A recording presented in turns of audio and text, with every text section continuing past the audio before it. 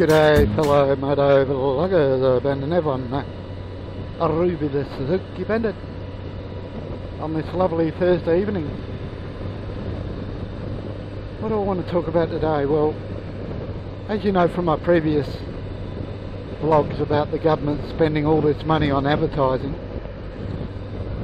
and they've been bragging about creating one and a half million jobs and it got me thinking I've, I've always asked the question where the hell do these million and a half jobs come from that they've created? Well guys I think I've worked it out. The million and a half jobs that were created they've created are in China. And they certainly ain't here. Everything is closed down and gone to China. Or somewhere close to.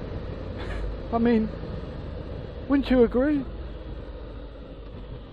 so yeah I think they're full of shit.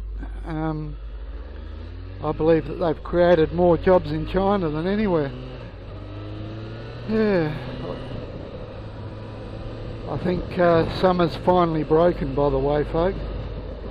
Um, we haven't had anything near the 100 degrees Fahrenheit which is great. I'm sick and tired of the hot the heat just wears you down yeah I just thought I'd uh, bring that up whilst I thought of it and uh, tell all you guys out there where the million and a half jobs were created.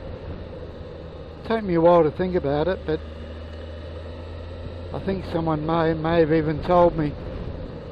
Uh, I won't take credit for that, but I've thought about it and thinking, uh, yes, I think they're right. Whoever came up with that fact,